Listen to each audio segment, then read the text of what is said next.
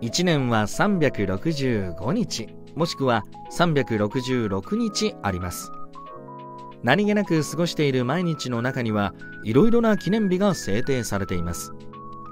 今日は何の日？と題して簡単ではありますが記念日などをご紹介していきたいと思います。今日は何の日？6月20日。ペパーミントの日。発火20日の語呂合わせと6月の下旬頃から北海道は爽やかな感じになるとのことから発火の爽快感とかけて特産品北見発火として展開している北海道北見市まちづくり研究会が6月20日に記念日を制定しています。北見発火は1902年頃から生産が始まっており全盛期には世界の発火市場の生産およそ70%を占めるまでに成長した産業でした。また例年6月20日前後には北海道北見市でペパーミントフェスティバルなどのイベントが開催されています。世界難民の日。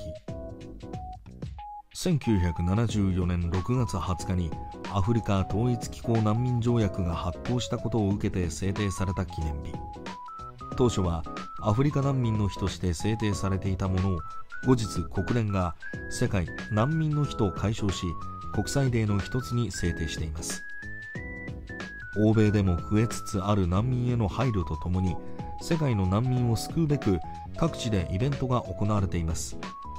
日本でも年によっては6月20日に東京タワーが国連カラーである青色一色にライトアップされるなどの支援表明が行われています。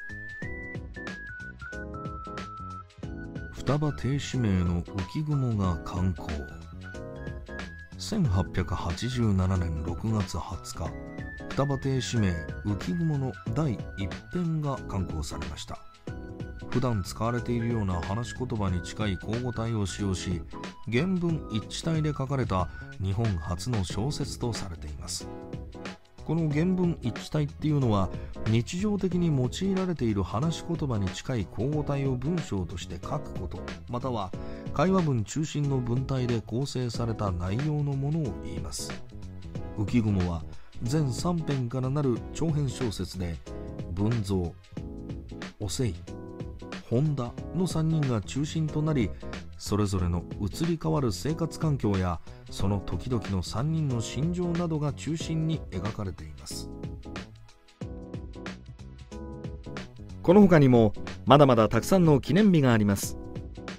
あなたの気になる記念日はありましたか？明日も気になる記念日をご紹介していきますのでお楽しみに。明日は何の日？今日お誕生日の方ハッピーバースデー